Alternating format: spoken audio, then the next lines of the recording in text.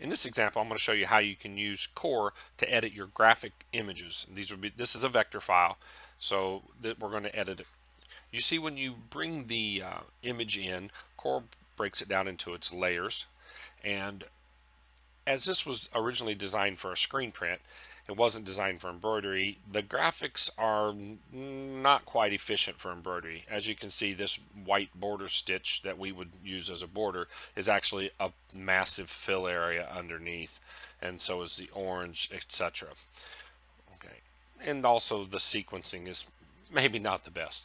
In any case, what we're going to do is I'm going to use Core's built-in editing features to trim this uh, image up to make it better for embroidery. So first thing we're going to do is select the white background and the orange area. And I'm going to right click and then I'm going to go to shaping and then I'm going to tell it to trim. Now what that's going to do is it's going to convert that white background into a border stitch. It combined the white and the orange and it basically cut out all the white that is underneath the orange. Now what I'm going to do is I'm going to combine the blue and that's as you can see the the artist wasn't too concerned with uh, sequence. They're kind of all over the place. So I'm going to click on this blue and this blue and I'm going to weld these two together. What that's going to do is make a common outline and then I'm going to add this one into those two. You can only weld uh, two objects at a time so there we go. So now I have a common outline and I have my outline and I have a big blob orange. What I'm going to do now is cut out the orange. So I'm going to select the orange and then the blue and right click shaping and once again trim and as you can see in the object list we have a nice upper and lower shape okay so now what I'm going to do is let's start making stitches we can, uh, let's convert this to complex fill.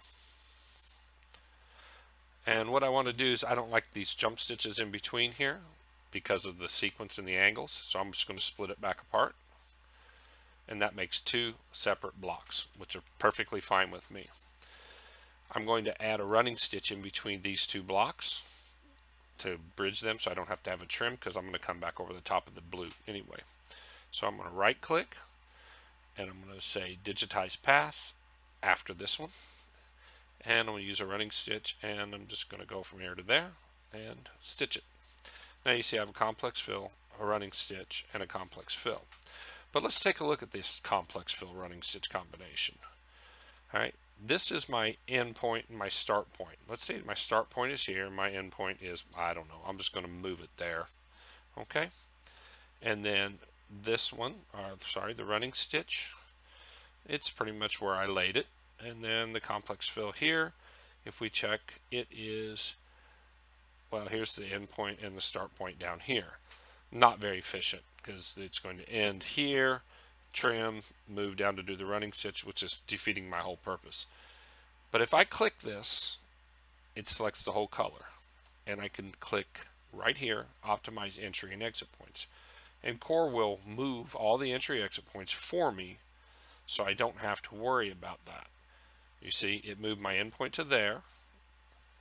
It moved my start point, endpoint of my running stitch, and it moved my start point, endpoint of my last complex fill. So I'm, I'm happy. Now I can just click here, this blue, and I'm going to right click convert to complex fill. So now I have my complex fill and my border. Uh, when you trim, it trims off the lines pretty much exactly where they were drawn, so we don't have much compensation. What I'm going to do is I'm going to add comp to the orange, both blocks at one time. We're going to say push or pull. We're going to add a percentage. Let's go 106% uh, apply. And that gives me a little bit of overlap, so I don't have to worry about any of that. All right, now um, maybe I want to change my stitch angle on this. It's just a matter of clicking and dragging. You see and all I have to do is let's do the uh, flower so I'm going to scroll down and find my flower artwork right here you see? Select that convert to satin. And just for good measure I'm going to optimize entry and exit just in case. It more than likely did it all fine but let's just do it that way. And then the little yellow dot is here and we're going to convert it to complex fill and now all that's left is the text and we can drop that in from the keyboard or you can digitize it or whatever but you know how to do that. In any case um, now we have to deal with the border.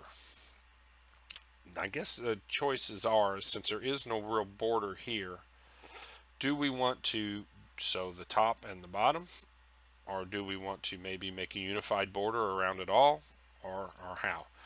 Uh, at this point we can click here and say convert to satin.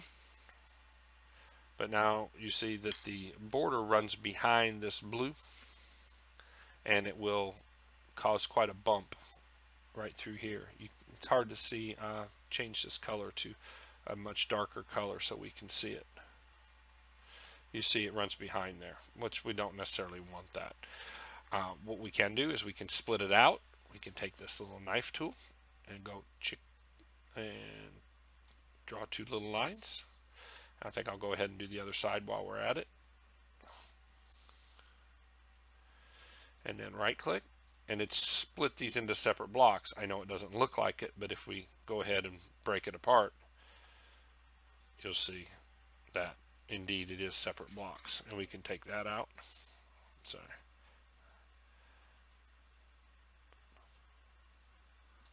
that one and that one and let's go back and change that back to white so that it looks pretty close. And we'll just type white. There it is. And we'll zoom in. I could go back and do the digitized path and put a running stitch in here if I'd like just like I did on the um, other side. That's pretty much it